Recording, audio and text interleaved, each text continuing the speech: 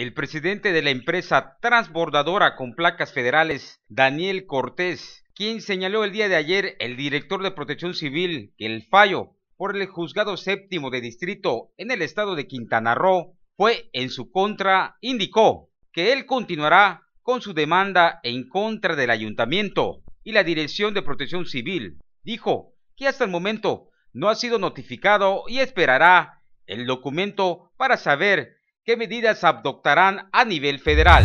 Recordemos que es un amparo directo de la federación, no es un tema sencillo. Generalmente estos llevan a lo largo de 6, 7 meses. Realmente es muy pronto apresurar esto. Eh, debemos entender que ellos ya tienen la notificación y como bien dicen es a favor. Eh, nosotros dudamos este, que sea así de simple, pero pues te digo, no, al no recibirla no podríamos tener una, una injerencia directa. Eventualmente hay que entender, esto es un, una solicitud de amparo a un proceso.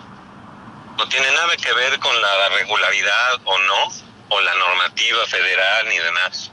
Entonces ya habría que entender a ver si el, el director de protección civil está entonces entendiendo que esto es para frenar un derecho federal de, de transitar por toda la República Mexicana.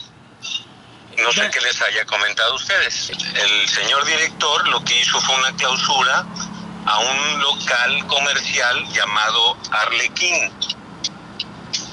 Ajá. Y el Arlequín lleva prácticamente cuatro años dado de baja porque falleció su propietario. Eh, considera muy claramente que si es un hecho para frenar un movimiento de apertura, un movimiento para apoyar la libre competencia y evitar monopolios que causan mucho daño a toda la población, bueno, pues entonces eso es lo que tendremos que combatir.